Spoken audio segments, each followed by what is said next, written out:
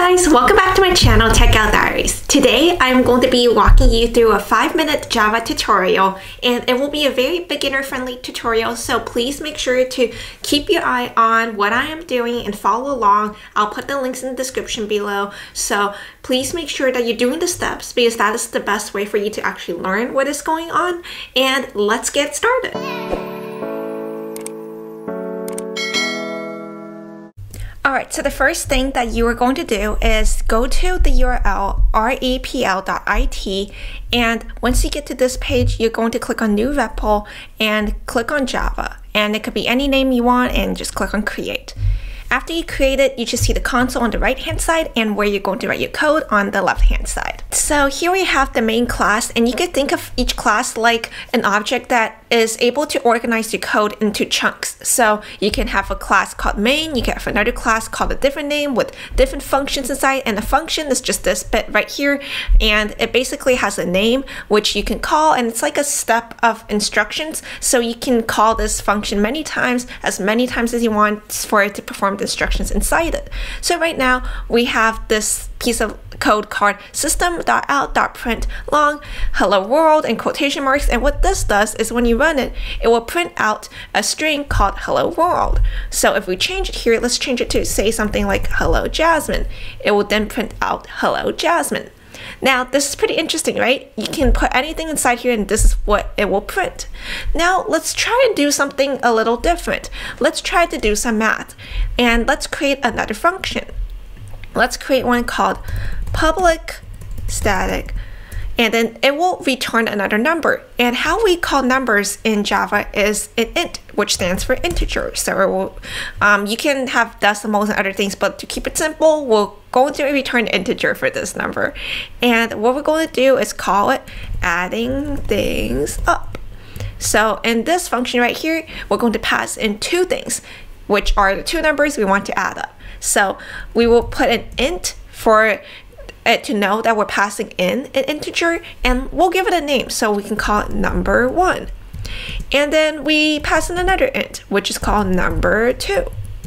And basically you can give them any name that you want here. This could be called anything. Uh, those are just the names that I am giving it. But just make sure that you put the type that it is in front of it so that the computer knows that you're passing in two integers. Now what do we want to do with these numbers? Well, we want to add them up. So let's do number one plus number two. And we are going to return this. So return. Now we want to print out what this function is. So we can do add things up and we could put any um, two numbers inside here like this function takes two numbers. So we can put in three five and let's see what happens. It returns eight which is exactly what we want now quickly going over the signature of each function with you guys so you guys understand what these things in the top of the function means. Public means that it is a public function. It can be accessed by classes outside of main. If it's private, that means only code inside of main will be able to access this function. And then int is basically what it returns. So in this function, it returns an integer. In this function, it doesn't return anything. It only prints onto the console, so it is void. And this could be anything. It could print a string, it could print an integer, it could print a boolean, which is true and false. So it could really print anything that you wanted to. So for example, if we wanted to change this to add words up and make it print words, we could do that. So let's try doing that we will make this print out a string and then we'll change these to strings as well. So we can make this word one and then make this word two and then in this place we will change it as well. So add words up. Let's put two words. So let's put my last name and then we will put my first name in there. And let's see what happens. Oh no, there's an error. Why is that? Well, I forgot to change these. So let's change this to word one and word two. There you go. Now we have Jasmine Wu. If we want to add a space, you could do that as well. Just do this and a plus sign and it will have a space in between. So you can add whatever you want up with Java. Now keep in mind each one of these functions can also be called by other functions. So for example, if I were to create another function right here called public static string add exclamation mark and it will take in a string and what it will do is it will take that string and just add an exclamation mark to it. Now let's call inside our previous function add words up and how we do that is we just put in the function name add exclamation mark and then let's run it and see what happens. There we go. It says Jasmine Wu with an exclamation. All right, guys, bonus time. Instead of adding each strings one by one like this, word one, word two, word three, what if I have a lot of strings and I don't want to do this manually because it's just going to be too tedious? Well, we can do something called an array. And what an array is, it's basically a list that contains a bunch of different things and you can then use it later on so that you don't have to put them in manually. You can use a loop to go over all of them automatically and I will be showing you how you can use it. So we're going to create one called static string and then these square brackets just means it's an array. And then we'll give it a name so let's call list of words. And then in these curly brackets we'll just put all the words that we want in it. So let's say I want to eat pizza. And there's our list of words and instead of just putting all these words in, instead we're just going to put a an array of strings, which is words, and then we're going to pass in the list of words into our function, which the name is list of words.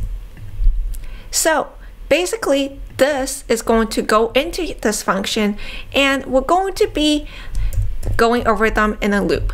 And how a loop works is you're going to have a start. So int i equals zero. This means it's i, which is our starting point, it's going to start at zero. Then what we want is for this i to increase each time this loop completes.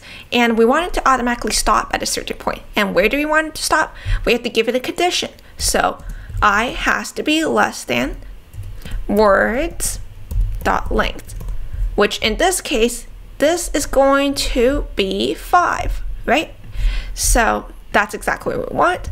And then we will tell i to increase by 1 each time, which is i plus plus. Now inside these curly brackets, we want it to go over them and add them up automatically. So we're going to make another string called result and we're going to make it empty string because we don't have anything in it yet. And what we want to do each time is result will equals result plus words i. And let me explain to you what this means. What this means is since each time this goes over, it will increase by one, this means that it's getting the element in this list at a certain point. So when i equals 0, it is grabbing i because in a list in Java, it starts counting at 0. So this is element 0, this is element 1, this is 2, 3, and 4. So after it adds i, it goes into this loop again. i increases by 1, so now it adds 1. Then increases by 1 again, and then it will grab 2. And then increases by 1, grabs eat, increases it by 1, and grabs pizza until the result is containing everything. Now let's see how this runs. And don't forget, we also have to return the result at the end. And there we go. Let's see what this returns. And there you go. You can see I want to eat pizza. It automatically went through the loop each time and grabbed each one of these elements and returned it at the end. So I hope you guys enjoyed this quick little tutorial. Make sure that you're subscribed and click the notification bell for future videos like this. And if you have any questions at all, just leave them in the comments below. I will see you guys next time. Bye!